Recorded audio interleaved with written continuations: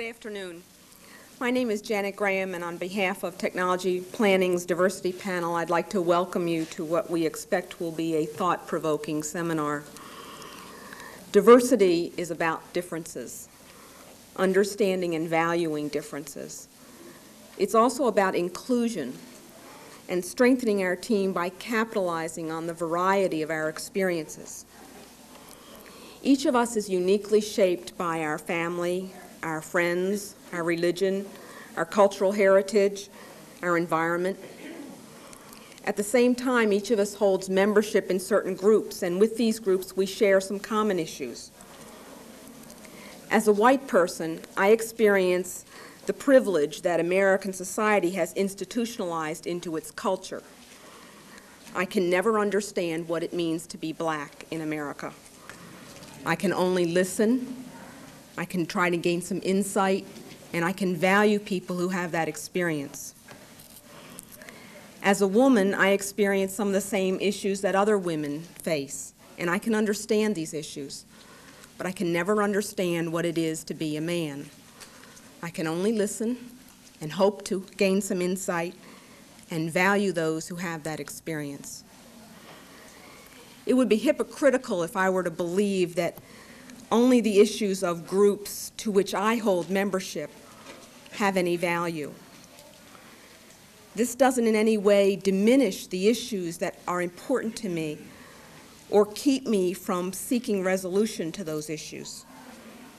I believe our challenge here today is to open our minds, to hear, to gain some insight, and to be better able to value all the members of our team. I'd now like to introduce Dan Curry from the Technology Planning Diversity Panel, who will introduce our distinguished speaker. Dan? Thank you, Janet. Um, I'd like to go over a couple logistics first about this meeting before we get into our speaker. Uh, this meeting is coming to you live from the Forum in Arlington, but it's going from here to Philadelphia at One Parkway's Auditorium. It's also going to Vale Hall in Newark. And also it's going to about 14 other locations, both conference rooms and assembly areas throughout Bell Atlantic. It's also being broadcast over the Bell Atlantic uh, television network, and that's about, as of today, that's about 107 locations that's going to. For the purpose of, of, of, making this run smoothly, the question and answers for this session will be from both here in the, from here in the forum as well as One Parkway's Auditorium and Vale Hall in, in uh, Newark. Uh, they, Vale Hall and, and the auditorium in One Parkway will have push-to-talk sets, and that's how we'll handle the question and answers. This presentation is going to run from now till approximately 4 o'clock. At 2.30, there, there will be a break uh, for 15 minutes, and then we'll resume at quarter of 3. At the end of the tape, I will, uh, excuse me, at the end of the presentation, I'll give information how tapes or copies of this presentation can be available on videotape. And now I'd like to tell you a little bit about our speaker. Dr. Warren Farrell is the author of the award-winning national bestseller, Why Men Are the Way They Are, and the recently released The Myth of Male Power. Why Men Are the Way They Are is published in over 50 countries and eight languages. The New York Post called it the most important book ever written about love, sex, and intimacy. Dr. Farrell has appeared on over a thousand television shows, including eight appearances on The Phil Donahue Show, plus repeated interviews with Barbara Walters, Peter Jennings, and Oprah Winfrey. Warren Farrell is the only man in the United States to be elected three times to the board of directors of the National Organization of Women. He is also the only man to have been on the board of both the National Congress for Men and the National Cong Council of Free Men. He has started over 100 men's and women's groups, and over 150,000 men and women have attended his workshops worldwide. President Lyndon Johnson chose Dr. Farrell as one of the outstanding young educators in the United States. Uh, you have been around a long while, haven't you? uh, he, he has taught political science, psychology, uh, sociology, and most recently taught at the School of Medicine at the University of California in San Diego. Dr. Farrell is frequently quoted in Time, Newsweek, and has written publications from the New York Times to Ms., and has been featured in People, on Real People, in men's journals, on the Wall Street Journal, the Today Show, the Tomorrow Show, and even to tell the truth. So I So I now I, please welcome me in joining Dr. Warren Farrell.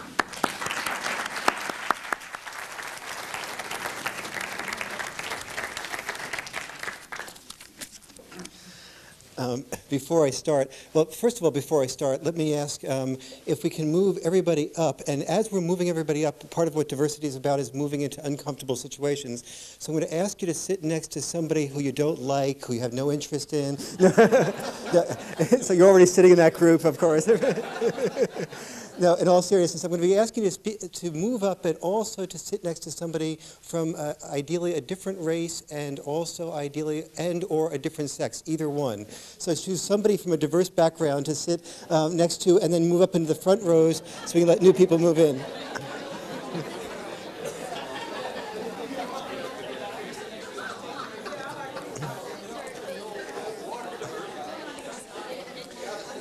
The people in the back rows, I'll ask you to stand up and move up to the, um, to the front rows. Joe handling the microphone, if you could make that a little louder.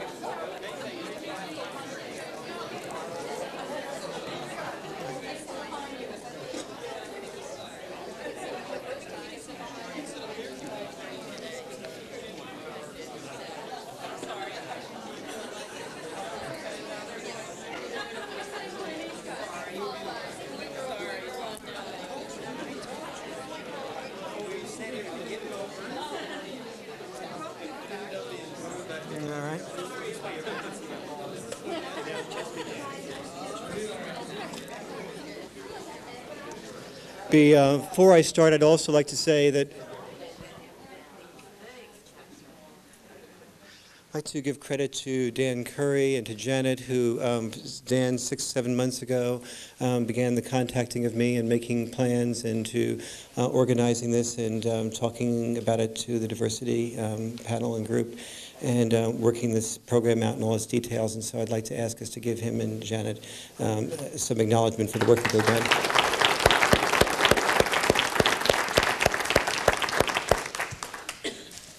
Uh, Dan mentioned that a bit of my background was spending three years on the board of directors of the National Organization for Women in New York City, and speaking basically on women's issues exclusively for about 10 years during the 70s and early 80s. And in that process of speaking around the world and trying to articulate women's issues, I think what we've accomplished in the last 25 years is that the feminist movement has done a wonderful job freeing women from stereotyped sex roles. But in the process, no one has freed men from stereotyped sex roles. And so a lot of what I'll be looking at, so as, as we started developing diversity issues over the past 25 years, we began to um, help each other understand blacks, understand Hispanics, understand women, understand groups that weren't typically represented in the workplace. But as we did that better and better and increasingly sensitized the workplace to that group of people, we forgot that gr- one group of people was not prone to speak out about their sensitivities at all. Their attitude toward the world was when the going got tough, the tough got going. And that group had learned not to express feelings. It had spent all its life training and hazing each other to discount the feelings of criticism that were, were put its way and to, let it, and to let it go off of its back. That group, called white males in particular, learned not to speak out, that it was unmanly to do that. They didn't learn that the man who expressed their vulnerabilities was the man that the woman wanted to dance with. They didn't learn that the, um, the, the man that said to the sergeant, gee, sergeant, but you know, that comment that you made about, about men was not really a comment that I appreciated because in my sensitivity training, that was really not uh, valued very much. he learned that his that basically if he made a comment like that, the foot of the sergeant would be in his crotch, and, and he would and he would be out the door, and that would be about the size the end of his sensitivity training for the for quite a long period of time, except in the areas that were sensitive. Um, So what I um, what is what I began to do as I started working on men's and women's issues is real, beginning to understand that that while at the 25 years ago we had a real inability to understand and to hear women and minorities and an enormous bias toward women and minorities, that over the course of the years something was being left out of the balance, and that was the perspective of the white male. And it's interesting that as I started to to understand this, I did this, began the understandings of this in part when I was running some of the men's groups and the women's groups that I was starting. And at the beginning of the men's groups and the women's groups, I would say to the men, you know, open up and express your feelings. But when the women's groups expressed their feelings, um, and particularly when they were critical of men, I would sort of reinforce their criticism as being part of liberation, and I would call it often insight. Um, but when the men expressed feelings of criticism about women, I would call it sexism, male chauvinism, backlash, defensiveness. And then I would wonder why the men didn't open up and express their feelings. And it's kind of embarrassing to acknowledge that as somebody trained in this area, but it wasn't until I, I listened to the audio tapes of the groups that I had started and saw what I was doing that it became so obvious that it's almost embarrassing to report out the, the process of that. As I began to hear men more effectively and articulate what men said to groups, I began to start seeing that instead of, for the first 10 years when I was speaking, I was only speaking about the women's perspective. I had, after four or five years, I was able to hone my presentation effectively enough so that I could count on a standing ovation. The first time, the more you say whatever what somebody wants to hear, the more that they give you applause for saying what they want to hear. Um, and so, but for the first time that I was able to hear men and started to, to run back my groups and see what I was missing, I started incorporating some of men's perspectives, and I lost my standing ovation. And I started to begin to start dealing internally with, uh oh, what part of me needs applause versus what part of me needs to tell the truth. And it was a very difficult time in my life as I, as I started seeing that this was not just a ego thing, it was also a monetary thing. When I was speaking only from the women's perspective, I could count on three or four invitations to speak to another group from each, for each group that I spoke at. When I started to bring in also the men's perspective, balancing it with the women's perspective, I was down to zero to one invitation after each presentation. And so people who liked me were encouraging me to forget about incorporating the men's perspective and go back because for love to them meant supporting my career. But love of myself meant a tear between the part of me that wanted to have a career supported and the part of me that's, that started to get letters from some women who said, I walked out of your presentation. One woman wrote me and said, I went home to my husband. And he said, What are you doing home so early? I thought you were, he wasn't doing anything bad, but um, uh, he said, you know, what are you doing home so early? I thought you weren't coming home till about 11. And she had come home about 9.30. And she said, oh, I listened to that Warren Farrell speak, and he was talking about men not having all the power that we thought that they had. I was sort of disgusted. And he said, well, what else did he say? And she said, I said to my husband uh, three or four things. And he said, my God, it's the first time I've ever felt understood in this relationship. And so she said, we came back to another of your presentations, but this time together. And it really had created the first real dialogue of real honesty that we've had. I can tell you it wasn't without fights. But after that dialogue was over, I think we feel closer than we've ever felt before. Why don't you take some of that material and put that more honest material and balanced material in writing? So, uh, over the period of the next year or two, I did. I sent it out to publishers. The publishers' response to me, the first 11 or 12 publishers wrote back almost identical letters, somewhat to the effect of, What you're saying we've never thought about before. I guess it's true from our everyday life, it's, it holds up. But the truth is that 90% of the relationship books are bought by guess which sex? Women, and, um, and, that the, and that we need, and that the basic formula that sells best is a formula that, in essence, says women good, men not so good successful women, but the man is what? The foolish, successful woman, foolish, smart women, I'm sorry, smart women, foolish, foolish choices. Guess which group is the foolish choice? Men? Um, it's, um, it's the women who love too much. If the women have a problem, it's that they love too much.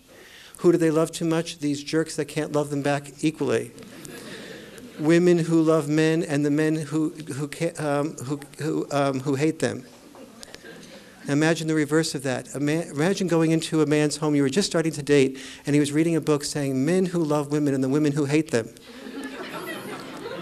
and he had the gall to call this a self improvement book. Would you be fearful of continuing the relationship with him? Of course, because you knew that he was participating in self-deception, not self-improvement, and so you would you would start looking at the uh, so that so that the, the publishers were basically being very honest with me. They were saying women buy these books, they buy these books oftentimes when they're hurting, When they're hurting, they need self assurance. They don't need self-reexamination. Uh, they need some re examination, but the predominant thing that appeals to them is the self assurance. And I began to realize that that was true for either sex. It's not women that do this alone, but both sexes, in the area where they are rejected, tend to turn what rejects them into an object. So the area where men are most rejected, the area where we're most rejected, is likely to be in the area of sexuality. So we turn women into sex objects because it hurts less to be rejected by an object than it does to be rejected by a full human being. You say, gee, that woman who rejected me uh, was just a blankety blank, that's a lot easier than saying a really intelligent, thoughtful, caring, insightful woman that I went out with last night rejected me. I can see why.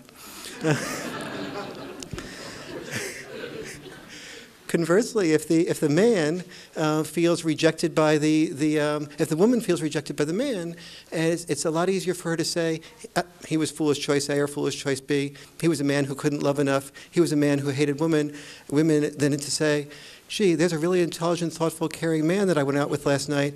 Um, he rejected me. She's much more likely to say, he was a jerk, because it hurts less to be rejected by a jerk than it does to be rejected by a full human being. And so both sexes turn into objects those people who reject them because it hurts less to be rejected by an object. We do this with races, we do this with sexes, we do this with anyone that we perceive threatens us or rejects them. We objectify them first and then we bomb them later. So, what I began to sort of do is to question myself. I really had my midlife crisis um, of going through do I want to focus on career success or do I want to focus on telling something that I thought was the best version of the truth that I could come up with? And at the, about that time, another incident in my life happened. I got a call one day from my dad, and he said, Would you sit down? And I did. And he said, Your brother has just been killed. And as I went to the funeral, the woman friend that he was, he was involved with said, um, I asked her, How did this happen? And she said, Well, we had gone up skiing in the Grand Tetons together, and he, my brother had been a ski instructor, and so had she been. And he said there was a she said there was a dangerous area, and so he said that he would go out and explore it to check out whether or not it was safe. And as it turned out, there was an avalanche while he was exploring the area that he thought might be subject to avalanches. And he was buried 40 feet under. And it took me, with all the work that I was doing in this area, it took me four to five years to register the fact that as I was writing about the male protector role, that reflexively he had volunteered to go out and check out the danger. Reflexively, she and he had volunteered to have him alone go out and check out the danger, even though the two of them checking out the danger together might have been able to be eyes and ears that would have been able to save each other. And I started thinking of the tragedy or the automatic reflexiveness of that, and that that evening, as this was sort of registering for me, I had already volunteered to go downstairs to check out whether the person that the, the, the noise downstairs, um, my woman friend and I were sleeping upstairs, and downstairs there were some noises, and I had volunteered to go downstairs to check out what it was about. She did not go down with me. I did not ask her to go down with me. Um, she did not ask herself to go down with me. and, uh, and so I began to look at myself and say, gee, it's very fascinating how this, re- this reflexive protective role is built into both sexes so automatically. And yet I wonder whether I should really be calling it male power to be willing to volunteer to die sooner. Did my brother have more power now that he's dead than his woman friend who's now remarried? Or married, I'm sorry. And so those questions began to sort of be little seeds that happened for me. And some people ask me sometimes, well, Warren, what made you change to be, you know, to sort of be understanding of men? And oftentimes in their voice, I'll hear, are you anti woman? Or is there something now that has happened to you in your life that's made you opposed to women? And it, it's such a sad question because the question re- reflects that if you understand a black person, you must be anti white. Or if you understand a gay person, you must be gay and, and, and suddenly turned away from being heterosexual. If you understand women, you must be opposed to men. Or if you understand men, you must be opposed to women. I hope what diversity training is about is about exactly the opposite conceptualization is that, of that. But something happened to me in a workshop that I'm going to be sharing with you and having you share with each other in a few minutes that was probably the most powerful single paradigm shift creator for me of anything that's happened so far. And it wa- it was this. I had spent during the years I was working solely on women's issues, I was working on um, five hours of work that I had done on working on empowering women to, and we were defining power as the ability to control one's life, which involved the woman going inside of herself, determining what her values were, where she wanted to go with her life, and then what she could do personality wise and character wise to create that outcome and to confront the external obstacles as well as the internal obstacles to do that. But the men in the group were playing roles with these women of learning how to empower women, which oftentimes you and I, as men, as problem solvers, our tendency is if, you if you're our wife and, and you have a problem, we will not really listen to you. We'll listen to you for a couple of seconds, pick up the gist of what you're saying, and while you're talking, we'll try to form in our, our own mind's eye a problem. We'll try to define your problem and try to solve it for you while you're talking, and then we'll sort of nod you to a pause the moment that you are sort of moving toward a, a sort of down part of your voice, and then we'll sort of interrupt with the solution. And we think we've helped you. But in fact, what we've done is condescended to you. And we basically said to you, don't worry, in five seconds we can solve what you took five months to not be able to solve. And the woman doesn't feel empowered by that, but she feels disempowered. So I was working on that concept, that type of concept and interaction between men and women around the issues of emp- empowerment. Same type of thing holds true with races, that type of attitude that one race can solve the problem, the other race cannot, um, is, is underneath all that an attitude of condescension. Um, so the, having done that, I got ready to take a break and looked up at my workshop audience of about 150, and I said, by the way, how many of us here have ever asked our dad the following question? Dad, if you didn't have me and the family to support, what would you have liked to have done with your life? And about three people in the group of 150 answered the que- raised their hand and said they had ever asked that question of their dad. I'd like to ask here for us to raise our hand if we've ever asked that question of our dad. Dad, if you didn't have me and the children to support, what would you have loved to have done with your life? About four people. How many, raise your hand if you think it's a question that might be useful to know the answer to?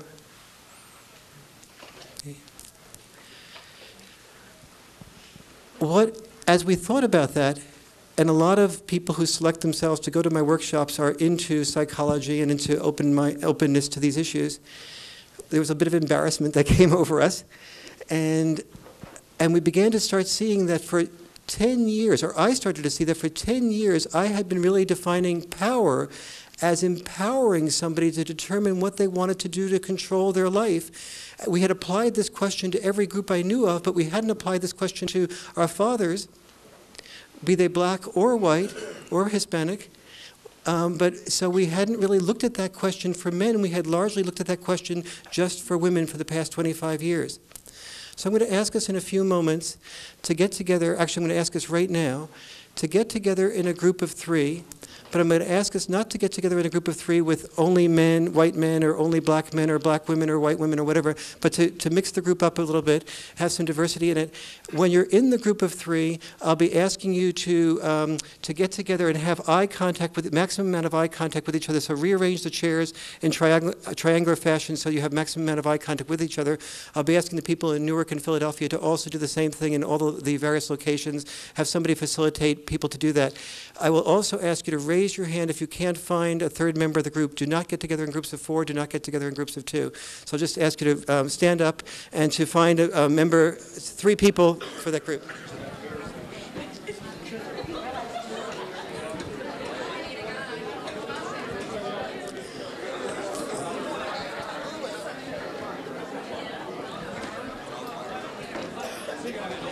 I'll ask you, Joe, can you uh, raise that volume now?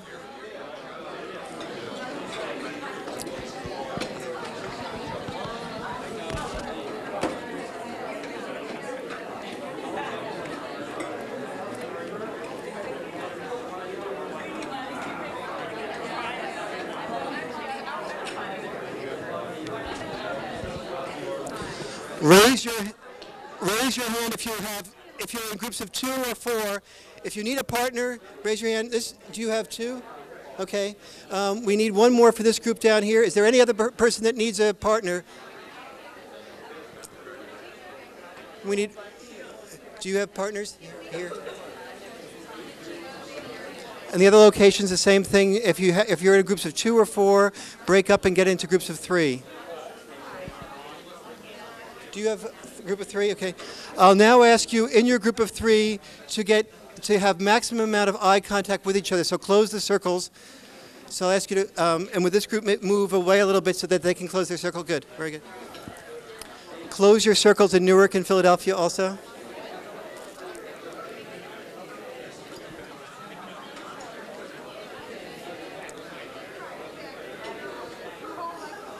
I will be using, I will be doing two experiences during this, um, I'll be doing two experiences during this um, today. And I'll use the word during experiences, the word hold, which when you hear the word, word hold, I'll ask you to put your conversation on hold so I can give the next level of instruction so I can keep moving things along at a quick pace. The, I will now be asking you to think to yourself right now about three things that you'll be sharing with the group in a minute, and I'll be giving some instructions, particularly about the second thing. The first, I'll be asking you to share with the members of the group what your dad actually did. The second thing, what you think your dad might have loved to have done if he could have done anything he wanted, and that's the thing I'll be giving you more direction about in a minute. And the third thing I'll be asking you to share with the group is how you arrived at that conclusion since you haven't asked your dad. And I'll be sort of working with you on how to arrive at that conclusion in a moment. If your dad has passed away or you never knew your dad, I'll ask you to pick up on the images and the discussions that you heard about your dad to make a best guess. I'll work on that more in a moment. Whether you know you knew your dad or not, I'll ask you to remember go, to, to use the following types of things as possible hints. Maybe one day you were going through the attic and you ran across, for example, a trombone or an old saxophone or a picture of your dad in a family album. And in that family album, you saw him maybe fishing or hiking or doing something that you didn't see him do very much of in his later life or as you knew him growing up. Or maybe you remember a time when your dad started speaking about something he was doing or did when he was younger, and all of a sudden a different energy came over him, a glint came into his eye that you often didn't notice in him every day. Or maybe on the negative side of things, one day he came over, uh, came home drunk, and in the passing stages of his drunkenness, he made some quick comment like, "If it weren't for you and the kids, I would have been doing blank." and take from that painful memory I'll be asking you now to take from that painful memory what the pain was that he was experiencing that perhaps contributed to his drinking, and think about the hope that he may have been have had when he was younger, that, of what he didn't fulfill, perhaps. And now I'm going to be asking you, when you share this in the group in a moment, to not say two things, to not be saying, "Well, my dad did exactly what he wanted to do." because the reason I'm asking you not to say that as a starter is because if in 1950 we asked all the women of America to say what they wanted to do, almost all the women would have said, I want to be a mother and a homemaker. And the feminist movement correctly told us you can't really say that's what women want to do until you give them social approval for being able to do anything that they want to do. And in the 1950s, there wasn't social approval for the woman to be the doctor, the lawyer, the engineer. There was social approval for her to be basically a mother or maybe a teacher for a while and then a mother after that.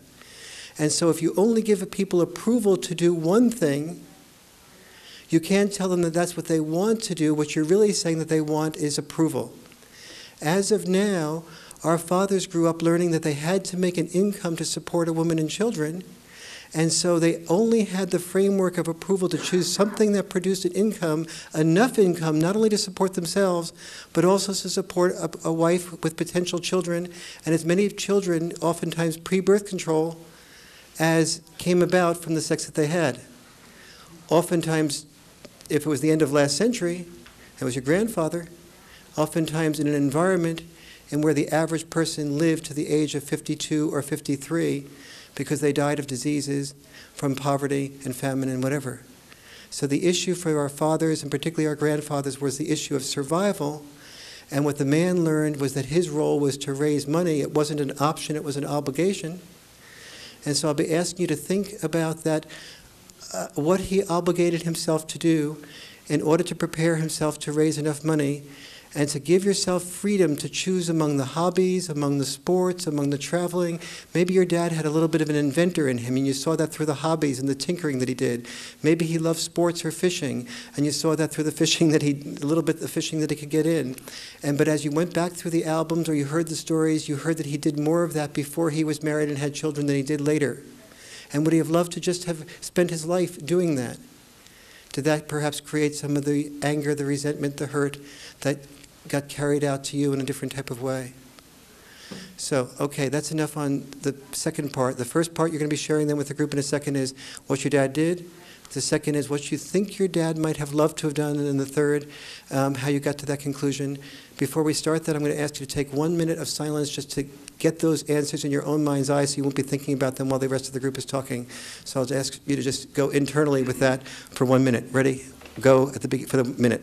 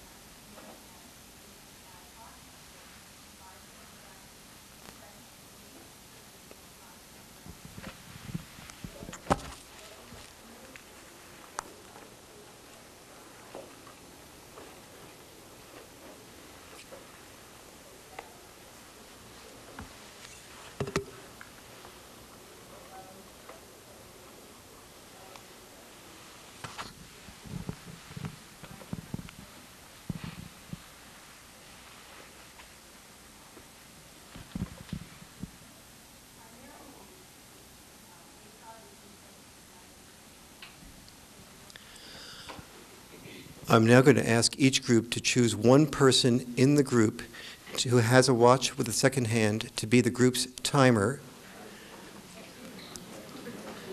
Philadelphia, Newark, would you facilitators make sure you're doing that also? Ready, hold. I'm now going to ask the timer to signal to one person to start. The timer will give each person two minutes. At the end of two minutes, no matter where you are, just move to the next person and come back if there's room at, at time at the end uh, to finish off with the people who uh, were cut short. So we'll keep it to a very strict six minutes. Timer, look at one person, give him or her the signal. Ready, get set. Remember, you're going to be sharing with the group three things what your dad did, what your dad might have loved to have done, how you got the hints about that. Ready, get set, go, timer.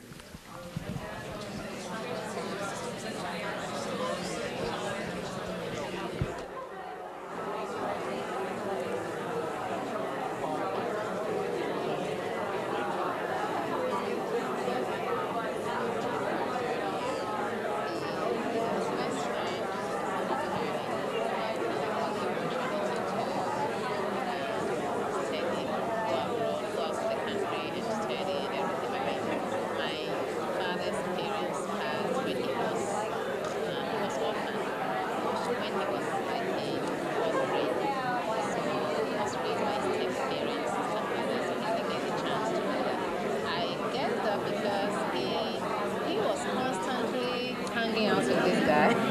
and, I mean, there was. Uh, I know they all grew up together, but I could see that they, they would have done the same thing if he had had the opportunity to. You got more time, is that what I have, yeah. Okay. Uh, my father uh, was uh, very active in uh, politics when I was growing up. Very active in uh, New York City politics. His professions usually worked in blue collar type jobs, but uh, he had a lot of leadership capabilities and uh, was very well spoken and very good in public appearances. And um, I think if he had a chance, if he hadn't had to do certain things early on in his life to help support uh, his brothers and sisters, I think he, he would have been very good in, in any kind of uh, uh, management or uh, legal profession or uh, any type of uh, professional area where his uh, leadership skills and his, uh, his presence, his sense of presence would have been an asset. Um, uh, in terms of things he liked to do, he liked to travel out with his uh, brothers and maybe go to hunting or firing range or liked athletics, very good at, athletically, good swimmer, and other things. Uh, do I have any time left? No, you got, you're fine. what else am I saying about him?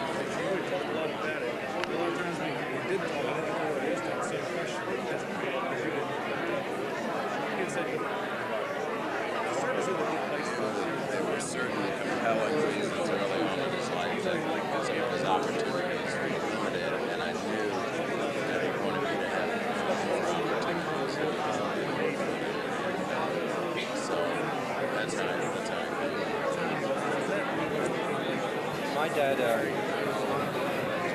my father's passed away. In fact, my father's alive today, he was 91. So he passed away back in 77. But his whole, the balance of his working life, he was either a plumber or a cop. It was not quite a combination. And uh, he was a plumber as a young man, and his father gave the business to his older brother. Got my father angry. He started going through Florida, Texas, doing odd jobs. He was, that was his rebellion. They came back and he uh, a job in.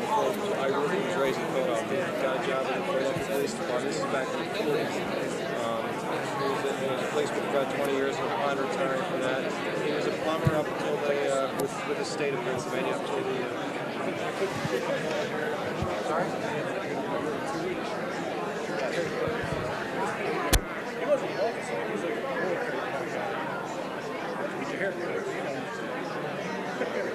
Just made you want to grow it longer, right?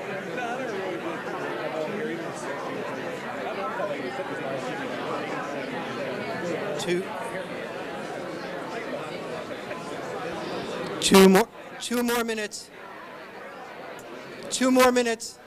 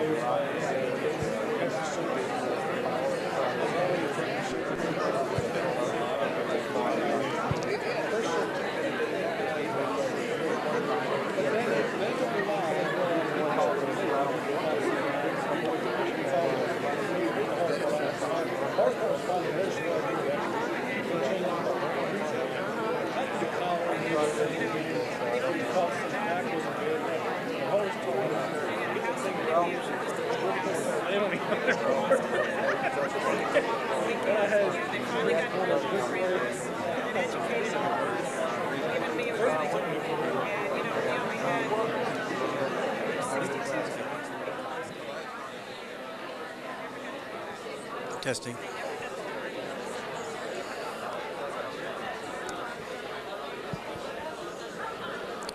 Ready, hold.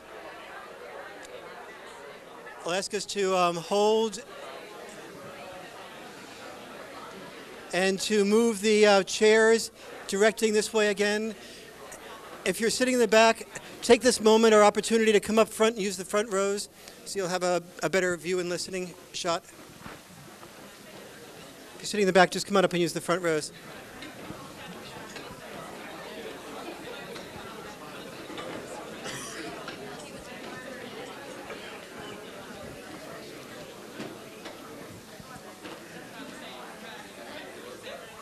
I'm going to ask you to uh, raise your hand, say your name, and just to volunteer what you shared with the group about what your dad did versus what you think your dad might have loved to have done if he could have done anything he wanted to do. And then third, um, how you got to that conclusion. Would somebody start us out? And somebody in Newark or, or uh, Philadelphia can also volunteer. Yes. S- say your name. And would, and would you stand up? My name is Leonard Stevens. Uh, my dad uh, was a construction worker for the better part of his working career, and he subsequently retired. One of the things that I think that he would have liked to have done as a profession would have been a professional singer. He was a gospel singer. And uh, the reason I know that is because uh, even during his working years, he was with a group, and when they would perform, he was like a different man. You could see it in his eyes that he really enjoyed it. So that was how I was able to determine that that would be his profession. Very beautiful. How think for a moment about the building we're sitting in and that it like all construction sites average one construction around the United States there's one construction worker who dies every workplace hour and feel how we oftentimes put through the the positive part of diversity programs is that we're making people sensitive to the insensitivities of dirty jokes. And yet the oftentimes we miss is the fact that we haven't put that same type of effort into protecting men from faulty rafters that lead to their deaths. And that we have as many people dying in the workplace every day as we had dying in Vietnam every day. And so we're often unconscious to the, th- those facts here in Bell Atlantic. The people that do the hazardous work are the same types of people called males that do the hazardous works in every professions. They're the, the splicers, the, the installers, the repairers, the linemen. Those are the people that don't have beautiful offices to come into. They have garages to come into. They're often the ones that um, end up with the, hazard, the hazards. In each profession, that's true to the point where 94% of the people who are killed in the workplace are men.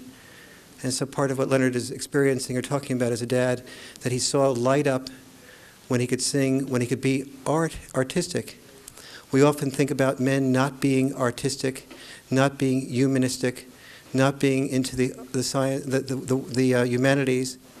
In fact, even today, 85% of the art historians preparing to be art historians in colleges are which sex?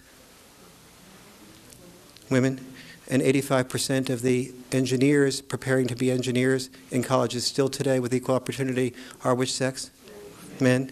And you see the reflection of that right here um, at Bell Atlantic. Thank you, Leonard. Very, very important um, parallel. Somebody else that might um, volunteer? Say, say your name. Hello, I'm Barbara Nissel. Um, my dad was born in 1920, Depression, upstate New York, and was a farm boy. So at 18, he enlisted in the Navy. And he went to the Navy because he knew if he did his 20 years, he'd have his bean and bacon money. And during the Navy, when he was 21, he met my mom, who was a waitress, and they got married and subsequently had four daughters. At 38, he saw the Navy changing, and he decided he was still young enough he could change himself. So he went to college, and he had a 16 year old daughter at the time. So he he told, and I've talked with him about this, he told me what he really would have loved to have gone into was forestry because he had such a love of nature and being outdoors. But at A&I College in Texas, they did not offer that degree, so he chose to become a teacher of U.S. history and government instead, uh, partly because he could still travel and go out, and partly he felt he could help young people with all his experiences in traveling in the Navy. Um, he then went through teaching, and again, he left that profession, and after that, he kind of drifted, and he retired early, and my mom actually ended up going back to work when I was 13, and uh, working the rest until her retirement. So very, very diverse changes there. Very good. Thank you for sharing that, Barbara. That's very nice. Someone else would like to share a thought? Um, Anybody in Philadelphia or Newark also? Joe or Russ? Yes, say your name.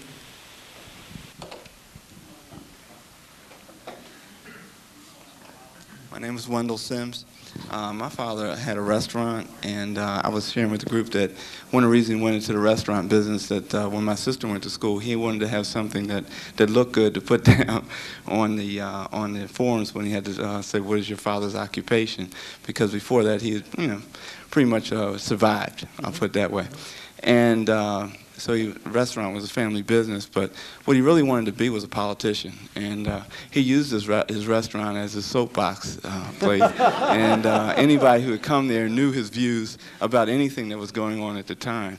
And I know for sure that he really wanted to be a politician because he told me that if he had had the education and the writing and, and reading skills that I had, that he would definitely be in Washington, D.C. as a politician.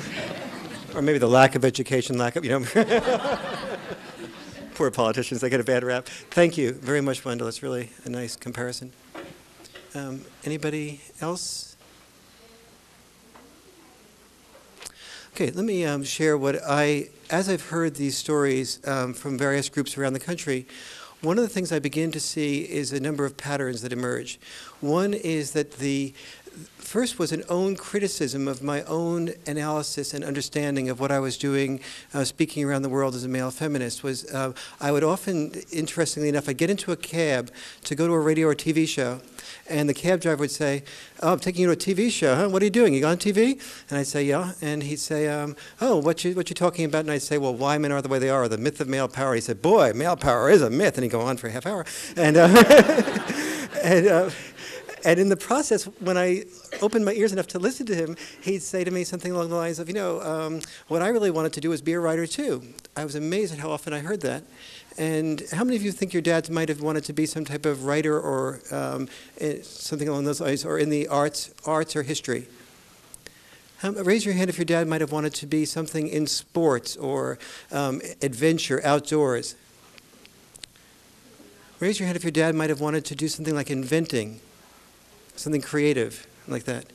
Um, uh, what about into singing or music or um, along those lines? What I, what I saw all over the country was that a lot of men wanted to do things that were a lot more creative, a lot more humanitarian, a lot more oriented in the social sciences. Um, and yet they, this, like this cab driver was telling me, he's, I, so I said, well, why didn't you become a writer? And he, and he sort of laughed at me as if, you know, condescending, condescending laugh of this little academic in the back seat, right. I you really understand a lot about life, mister. Um, and, um, and, and is saying to me, um, you know, I had a wife and I had children and I have three kids. I have to support them, boy. Um, and um, and uh, and he's you know and he continued and I said so I, when I you know got over the criticism implied in his tone, um, I was I would get enough guts to say to him something along the lines of, um, well, you know, how many hours a week do you work? And the first time the person the, the cab driver told me 70, I thought, well, exception to the rule. The second time he told me 70 or 75, I thought exception to the rule. And when I got that over and over again and tested and cross examined to make sure I was getting some credible answers, I was finding 60, 65, 70, 75 hours a week was the norm. And that started making me ask some questions. And the questions basically were I was looking as I was going to this TV show to talk about how men were oppressors and women were oppressed. I was at the same time hearing this cab driver, this limousine driver, tell me something. And one time I was doing this show with a feminist, and we were going to the to the to the um, with, with a limousine going to the TV studio. And the feminist and this guy, he was an anthropology um, master's degree uh, background, and the two of them were going back and forth about male female anthropology around the world, and had a wonderful discussion. And and um, and she made a comment to, I wish all guys were like you. Uh, you know, the world would be a lot better place. And she got out of the car. I said, well, he's single. You're single. Why didn't you ask him for his, um, you know, a card or give him a card? And she looked at me and she realized he was invisible. He was a chauffeur driver. She was a famous feminist. From her perspective, without even understanding it, he was not eligible for her love because he did not have enough success to be eligible, but she never articulated that. But she was smart enough and honest enough to acknowledge it as we talked about it on the way back to, for, between the chauffeur and the, and the TV studio. We got back in with the same limousine driver, and she still didn't ask him, though. way back. Okay, so what I was beginning to start understanding was that here I was saying men had the power and women didn't. What I didn't realize was that historically speaking, from the perspective of power meaning control over our own lives, like I was working with a women's group to do, that neither sex historically had power. Both sexes historically had roles. And roles that you have to play are not power, they are obligations. Power is about determining what you want your options to be, looking inside of yourself and deciding what to do with that. So, but the female and male obligations were different, obviously. The female's obligation was uh, raise, uh, raise children. The male obligation was basically raise money.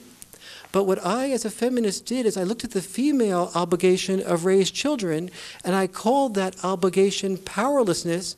I called it, oftentimes in my radical moments, slavery.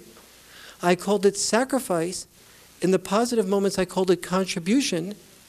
But I took the male role of raise money, and I, instead of calling it sacrifice, obligation, contrib- contribution, I ignored the cab driver's sacrifice and I called it instead privilege and power. And he has the whole pie, and patriarchy, and sexism, and dominance.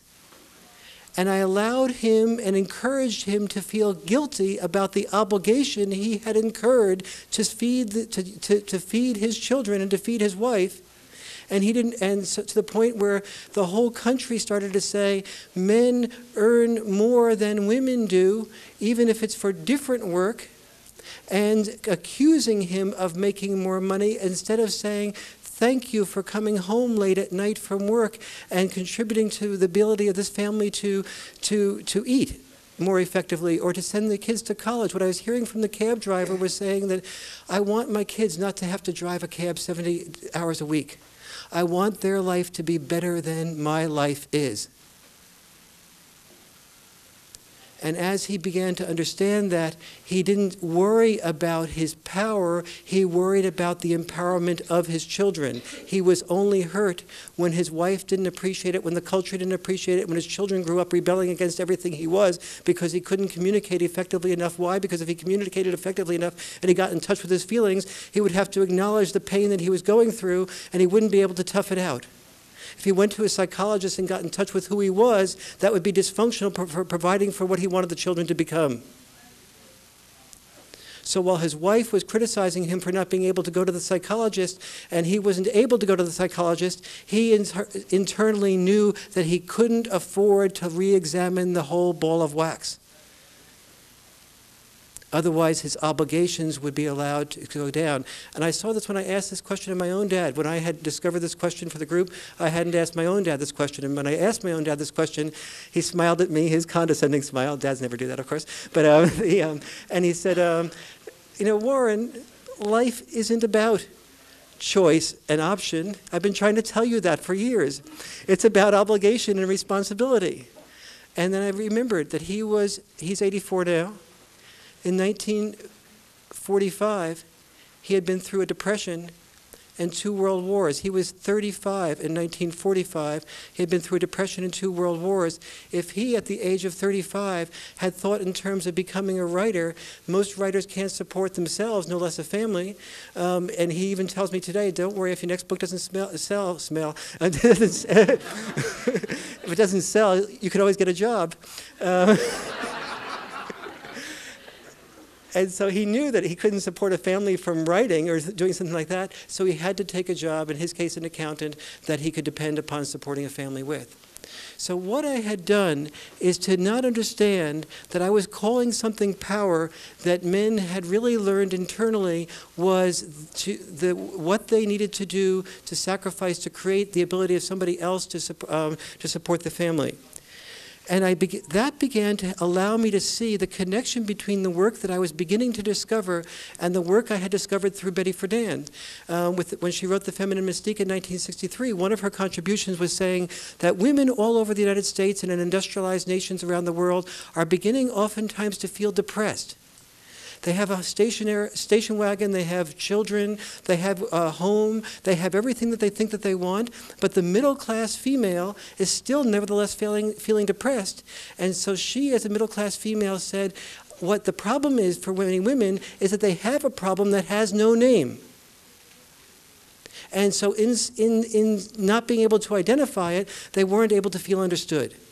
Well, it is also true of men, but something different is true of men that is parallel to that. The difficulty in working with us guys is that we have a problem that has a deceptive name. The problem is that our experience of obligation and sacrifice and powerlessness has been called power. So we have learned to call it power to earn more money that somebody else spends while we die sooner. A woman growing up, if she said, "Listen," the mom and dad said, "Listen, you should have, um, you should earn more money that somebody else spends while you die sooner, and that's your power," she'd be smart enough to look at her mother and say, "Mom, you're in another world." Or we learned in other ways to call something power. Imagine, for example, coming over here today, coming to work this morning, if you were listening to your favorite radio station, and it got interrupted, and somebody said that President Clinton, or let's say a few years ago, President Bush were coming on, and for some reason you decided not to switch stations. And, uh, and President Bush said, or President Ray, uh, uh, Clinton said, as of tomorrow, I am introducing to Congress a new piece of legislation which will require that as of tomorrow, only blacks will have to register for the draft.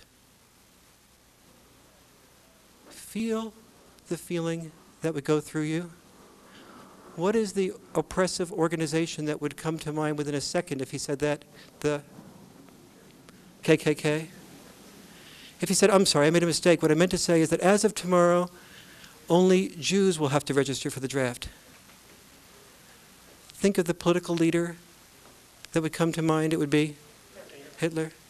He said, I'm sorry, I made another mistake. What I meant to say was that you know how Hillary and I believe so strongly in affirmative action and equality?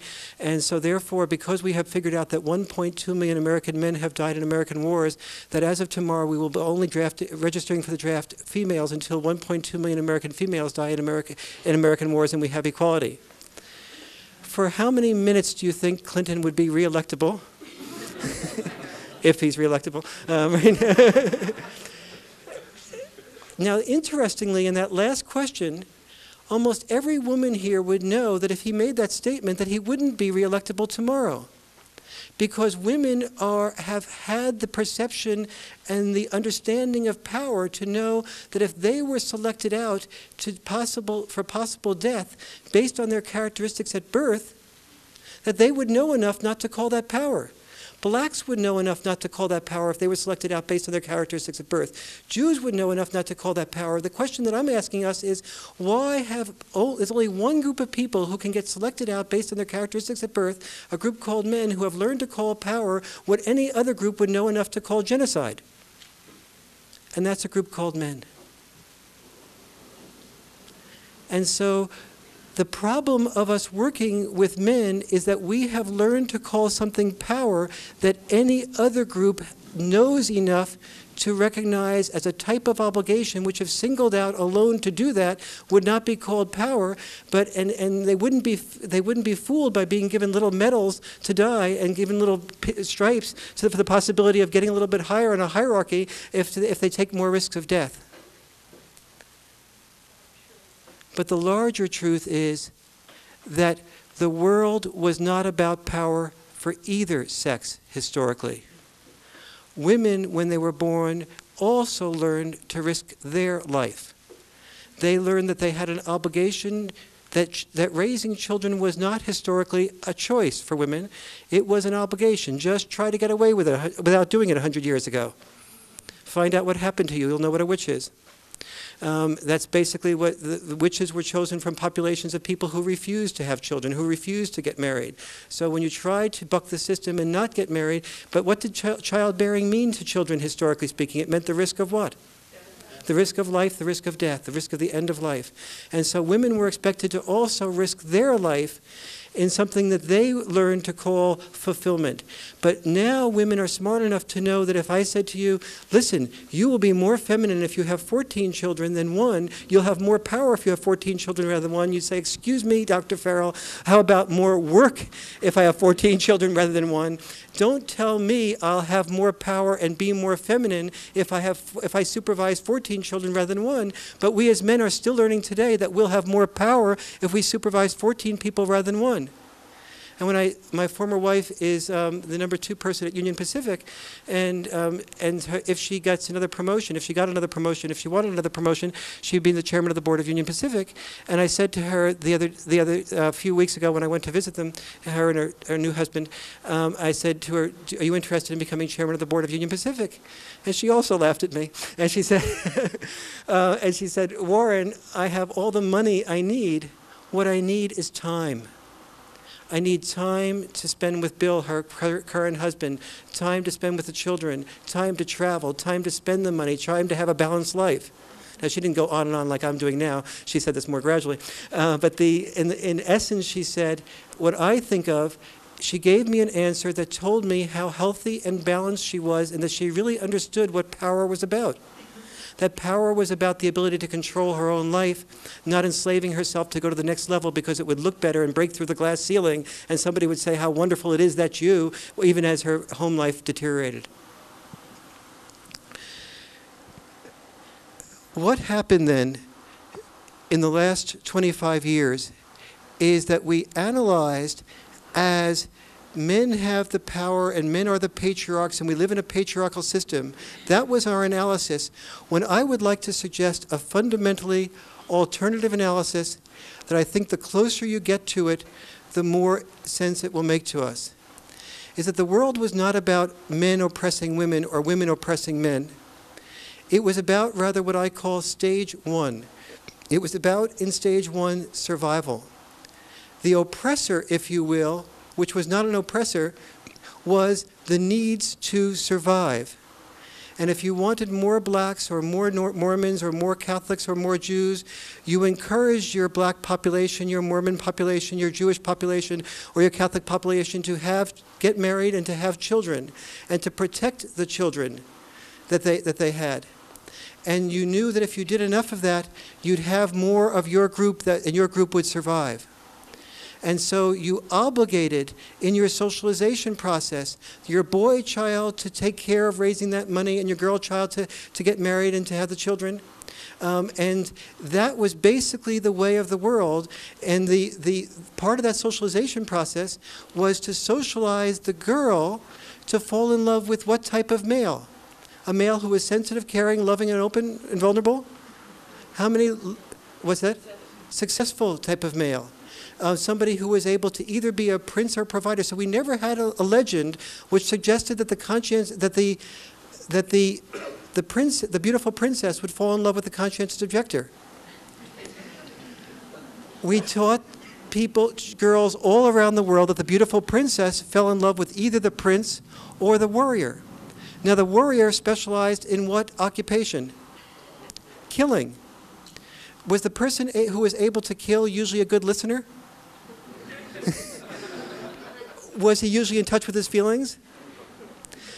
But yet the girl didn't choose the conscientious objector who might have been the better listener, more sensitive, more in touch with his feelings. She chose the killer, the warrior, or the prince who could able, be able to provide. The current version of the prince is the doctor, the lawyer, the top engineer, the chairman of the board, the top author, um, whatever. And oftentimes they're so preoccupied becoming successful at work that they oftentimes don't know how to listen or be even at home. So the girls, girls historically were trained by their moms and dads to fall in love with the members of the other sex called men that were the least capable of loving very often. Conversely, males were also trained to fall in love with the members of the other sex who were the least capable of loving. They were trained to fall in love with the beautiful girl, not the girl who was.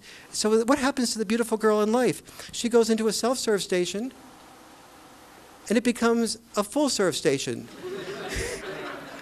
The gas station attendants compete to make it a full serve station for her.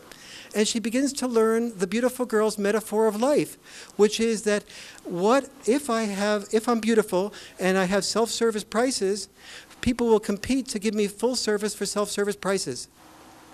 And my job will be to learn how to say no to the ones that, that don't compete effectively enough. And so, through no fault of her own, the beauty often prepares her to feel entitled um, to getting men to compete for her love by giving her things or doing things for her. Conversely, it taught us to fall in love with the young woman. Why the young woman? Be- the maximum number of years to bear children. Why, by the way, the beautiful woman? What was the, what was the genetic message behind that? What was beauty supposed to be about? Well, class, in, in fact, it was very much related to class. One of the reasons it was related to class also is what? It was related also to genes. The reason it became associated with good sex, which in fact it is not really truly involved with good sex, oftentimes the most, the most beautiful women are not the most voluptuous women, the most sexual women. Um, it's in many ways quite the opposite. Um, the Do not ask me how I got that information. my doctorate was not focused on that issue. um, we, where was I? this, the, the beautiful, jeans, thank you very much. Calvin Klein's, right, jeans. Um, the beautiful woman was basically the one that had, in some cultures had wider hips because she could bear children. Um, was cultures that where the, the fingernails were long because that indicated healthy fingernails, uh, uh, health. Um, the the um, the bone structure was um, parallel as opposed to off off center like this because that that meant a lack of deformity. The hair was healthy. It basically meant what that culture at that time considered healthy. So we addicted men in the culture to fall in love with the young woman, maximum years of fertility, the beautiful woman, our definition of healthy in that culture. And then thirdly, um, the, the woman, and we, addict, we addicted the man to sex with that beautiful and young woman. And then we said, uh, uh, by the way, before you have sex with her, you have to do what? You have to marry her. So in exchange for one act of sex, you're going to take care of her for a lifetime. now, and we'll call that power how many women would be likely to call it power if somebody said to you that in exchange for one act of sex, you have to take care of that person for a lifetime? We don't have any morons here. Uh, so, and yet conversely, women learn the same thing. In exchange for one act of sex, they might have to do what? Lose their life in childbirth. They would also have to take care of the children for a lifetime, 18 to 20 years. So the point of stage one was that neither sex in stage one had power. They were both focused on survival. The whole issue of stage one, the reason our parents get so fed up with us, people like me who talk about self fulfillment, is because in their lifetime, self fulfillment was not a discussable topic. How to survive was a discussable topic we were lucky enough, as a result of them figuring out how to survive, we were lucky enough to be able to pursue self fulfillment issues because they provided for us the luxury to be able to do that. But now, with males and females, let's look at that issue. Basically, until World War II, no males or females anywhere in the world, black, white, any background or race or ethnic um, um, variety, was able to focus on the issue of anything but survival. But after World War